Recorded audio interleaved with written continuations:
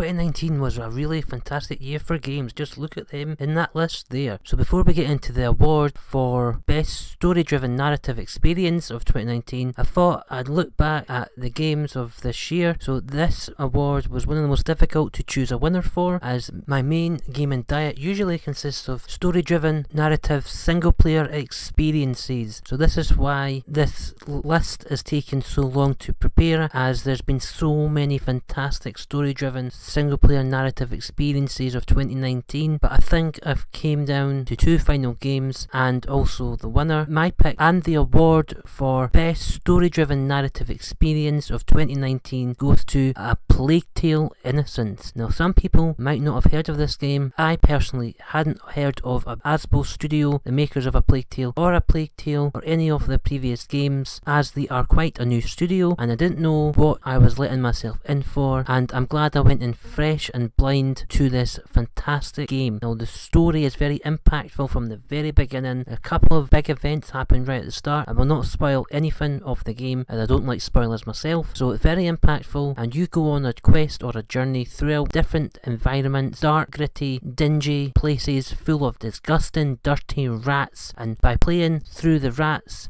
and by playing a lot of story driven experiences uh, with a lot of puzzles in there thrown in for good measure you eventually finish the game. But the main lasting impact that the story had on me was profound. I really enjoyed characters of the story purpose of going on that quest and I personally think if any parent out there was in the same situation having an ill or very sick child you would do anything to get justice for your child or you would go you would as far as humanly possible to find a cure for a chronic illness such as the one Hugo had in this game, who is the brother of Amicia, the main character in the game, and it just has a massive impact and feels just horrendous that people have had to go through this horrific illness in the face of adversity and a lot of diversity in a very horrible world of that time period. So that is why Plague Innocence is my best story-driven narrative experience of 2019. As always, let me know your thoughts down below of what has been your best story-driven narrative experience of 2019. It could be a big AAA game or a smaller indie game, but as always, let me know your thoughts down below in the comment section. But that has been the end of today's video. Thank you very much indeed for watching. I've been PS3 Gaming Scotland, and I'll see you on another video. Thanks very much indeed, guys. Bye bye.